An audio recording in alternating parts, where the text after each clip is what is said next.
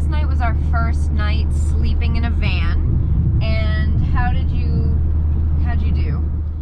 Two months traveling on the road, our home is where the traffic flows. We'll bring you everywhere we go and sleep in a freezing cold van because we're a little bit crazy, but you'll see that it's worth it.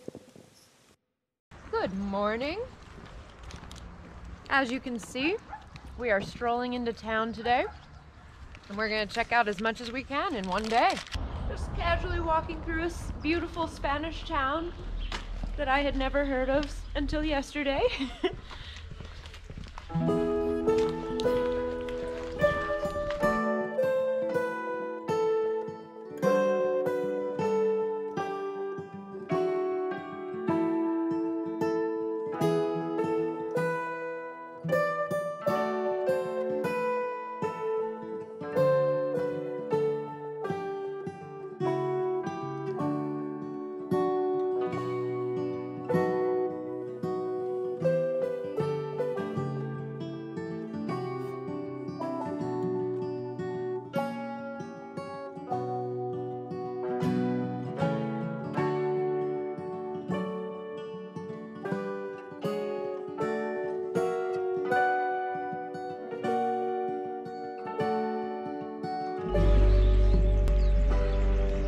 we are here, and the first thing we're gonna do is go to the Baños Árabes, uh, the Arab baths, and they are that way.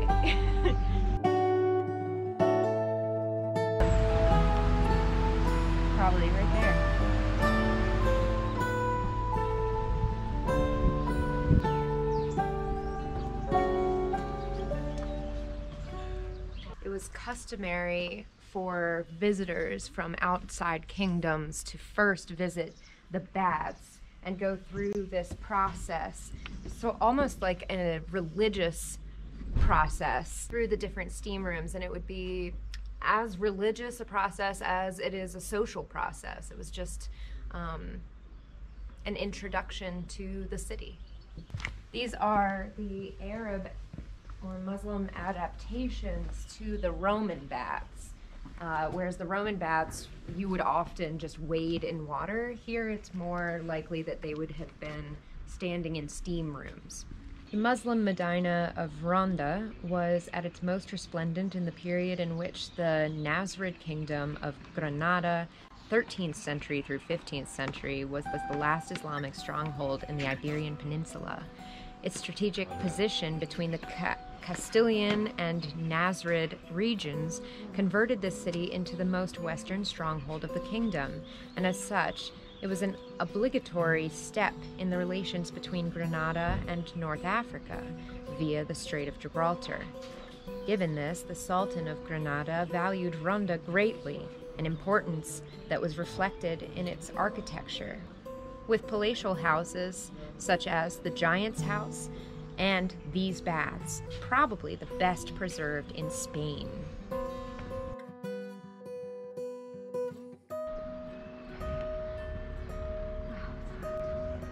The week.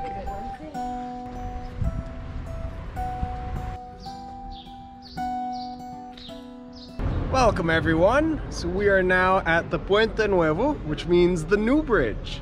And this new bridge was built in the 1700s. Very new, very new.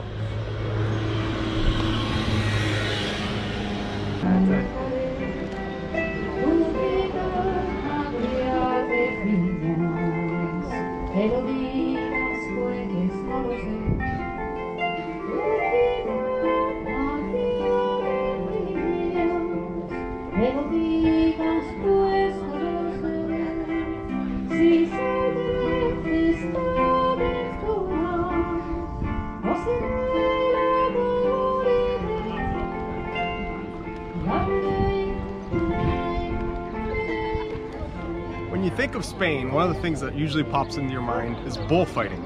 And bullfighting is just, it's a traditional Spain, Spanish thing. And bullfighting actually originated here in Ronda. So this is the oldest bullfighting arena because it's the first one. And Well, Maddie and I don't particularly like the uh, Spanish method of bullfighting where the bull doesn't have a very good ending. This is, however, a very important historic site, and it's the oldest bullfighting arena and still in use today.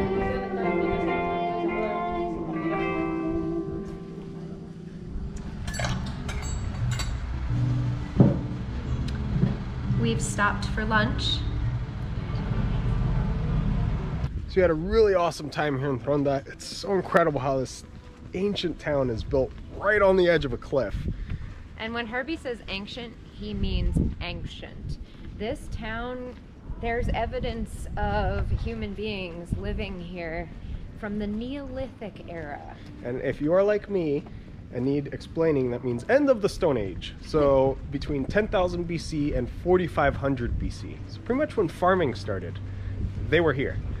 And this place is also inhabited by the Phoenicians, which, if that rings a bell, it's because they invented writing.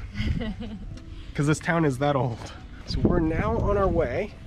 Back to the van, back to Ginny. We're gonna see that evidence of the Neolithic people via ancient cave paintings. The magic of art. The oldest art. It's really cool. We're walking along the old wall to the city, and it's called Paseo Chefchaouen, which is like Chefchaouen Way, pretty much. Now, the really cool thing is when we were traveling before, we stopped in Morocco, and in Morocco, we went to this ancient town called Chefchaouen, and it's the Blue City. And it was founded by people who fled from Spain from the Spanish Inquisition in the 1400s to Morocco to escape the Spanish Inquisition in the 1400s. And it makes you wonder like, did those people possibly come from this area? And then when they got there, they then just named that place Chefchaouen as well, because that place was also a mountaintop, cliff top village with a wall around it. So there's some similarities. So it makes you wonder are they related? So last night was our first night sleeping in a van. And how did you how'd you do? Well, at first, I was constantly worried because we'd hear cars rushing past that someone was going to hit us, like rear end us. And since we were sleeping right next to the back bumper, I was a little worried that I was going to get like hit in the sleep. And then I just got really calm and just went to sleep and slept like a rock until morning. so it was pretty good. It was freezing in the car, but we got these sleeping bags for below zero degree temperatures. And so we were like, we were completely so warm. Yeah. We were both sleeping on the bottom bunk, and between our bodies and the sleeping bags, we were totally happy and snuggly and fine. The only thing is that it's a really hard bed, but we'll get used to it. It was a short but very steep hike up to the caves. But the good news is we were able to slip in with the four o'clock tour because there are only two other people here. So we're really, really excited.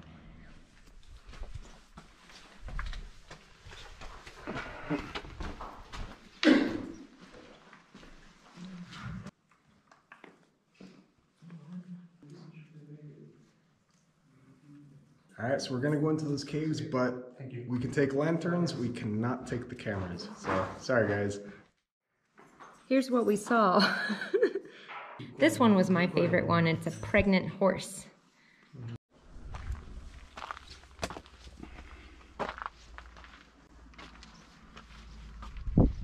There's Ginny. Those caves were absolutely incredible. So, a couple things about them. Since we couldn't bring you in there with us, I have to explain that the cave paintings in there were all over the walls.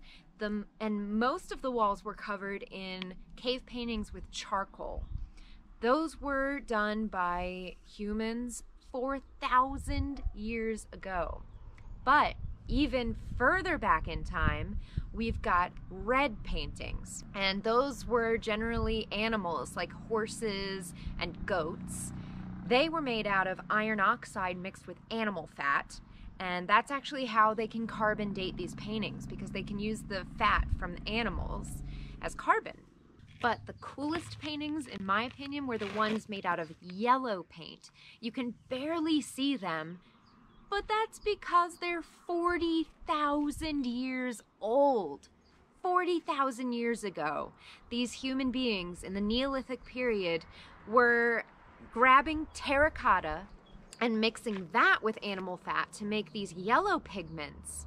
The most obvious painting in the cave that was done with the terracotta was this bull, just a head with some horns, but it was very obviously a bull or an ox. The other really interesting thing about the caves was the walls were covered in black soot.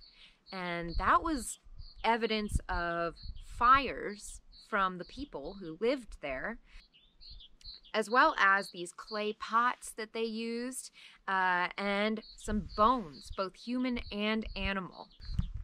So my favorite bone that I got to see there was the axis, which is the second vertebrae in your neck, and it's the one that has the odontoid process, which is the tooth in your spine, and it points up, and then the atlas, which holds your whole head, sits and pivots on that tooth.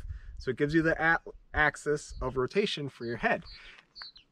This. But the cool thing is that vertebrae is so distinguishable, and there was a pile of bones with that vertebrae sticking on it, just the little tooth sticking up like, hi, I'm here and I've been here for about 20,000 years.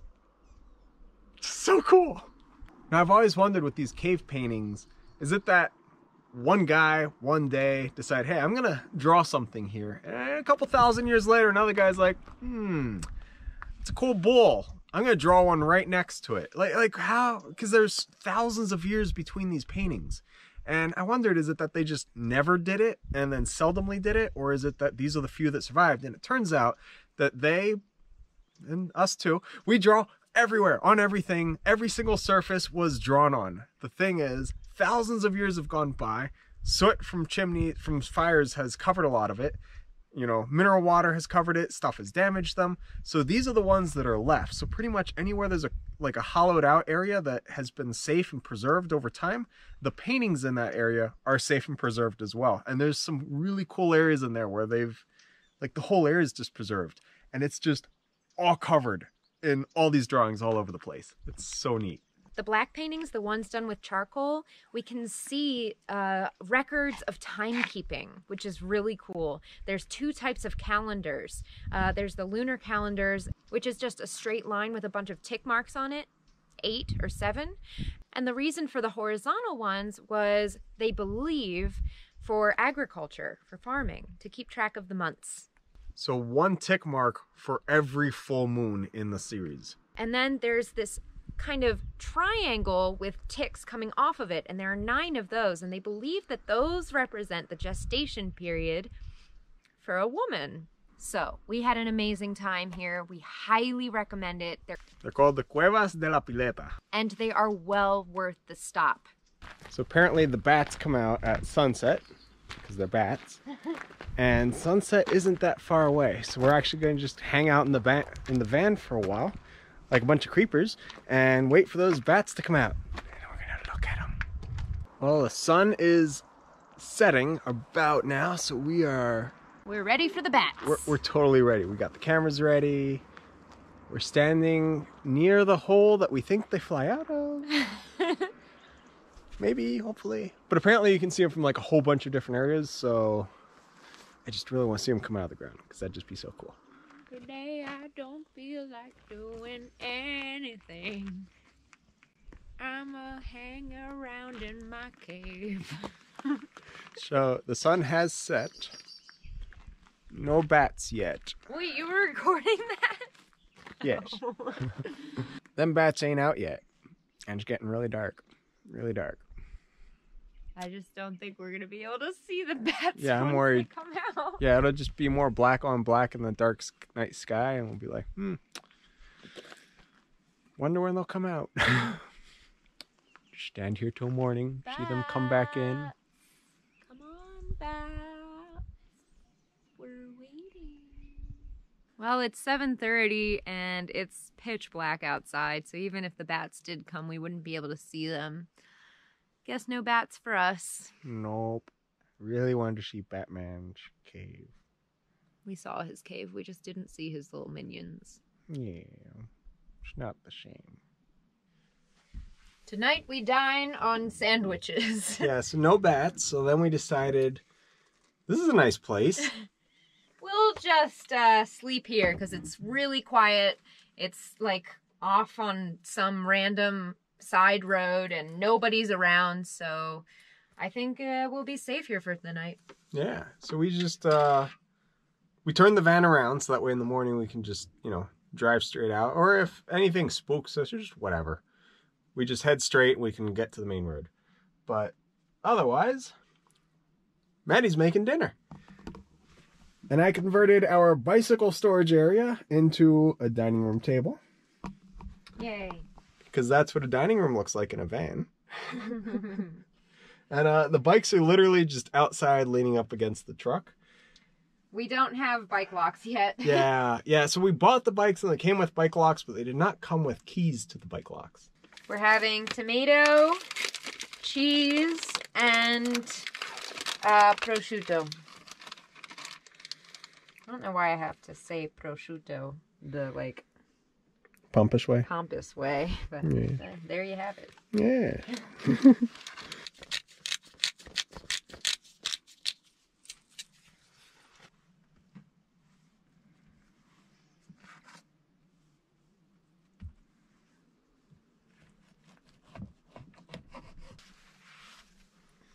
Bon appetit. So we're just gonna sit here, watch Outlander because we're uh, addicted to that show. It's so good. We just started it and it is absolutely amazing. It's not amazing, but it is really good. I think it's amazing. We're finishing off our dinner with some wine and cheese. And this is port wine that we got when we were in Porto, traveling through the Douro Valley. Uh, we went to this vineyard and it was just a really nice experience. So we decided to bring it with us on the van trip, especially since it keeps really well after it's opened. You only need a little bit because they're about 20% alcohol volume. And like classy people, we drink wine out of coffee cups. These are the only cups we brought.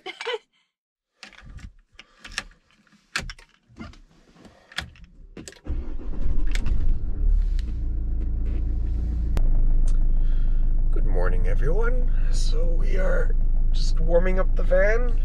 I'm gonna get it warmer. That way, it's not a ice cube in here. It's currently nine degrees centigrade or Celsius. I don't exactly know what that is in Fahrenheit, but it is quite cold. So we're gonna get it warmed up. So that way, Maddie will come out of her sleeping bag. So where's our next stop? All right, now we're going to make a quick stop at Setenil de las Bodegas. It's one of the 20 white towns in the mountain range that we're in, which is the Ronda mountain range, which cuts right through Andalusia. And then we're going to head on to a pit stop in Portugal to figure out some bank stuff before heading to Madrid. Yeah, so apparently banks in Europe do not care that they're all part of the EU and all part of the same company.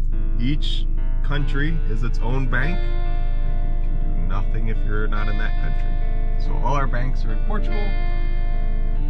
So to Portugal we go. But first, Setenil de las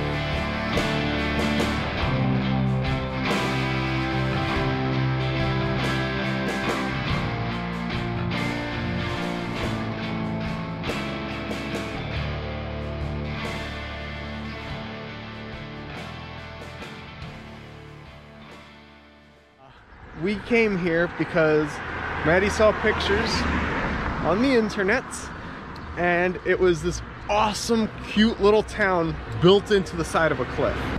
Found it! This is what this town is famous for. It's a street that goes under and is built straight into a cliff.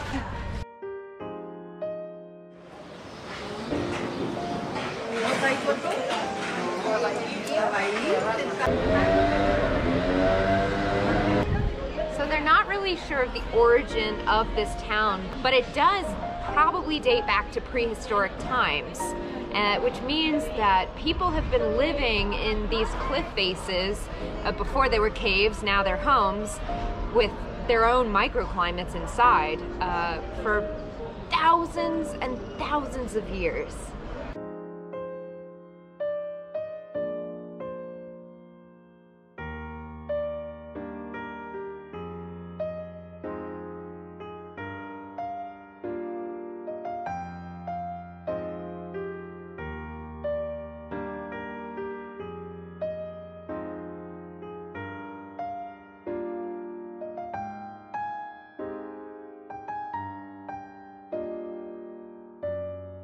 It's really a gift that we were able to come to this town. It's not well known at all, and I only heard of it because I saw a Facebook post in a group called Amazing Places that I'm part of, and I kind of used it as a little bit of a checklist for this trip.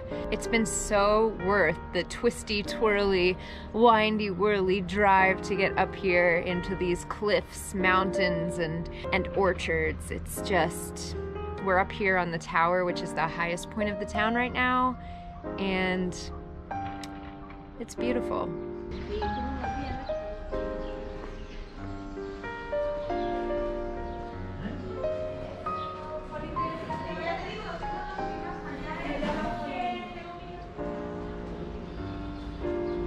That was a beautiful stop in Setenil de las Bodegas, but now we have to head to the Portuguese border uh, to figure out that bank stuff we were talking about earlier. So just a short little detour.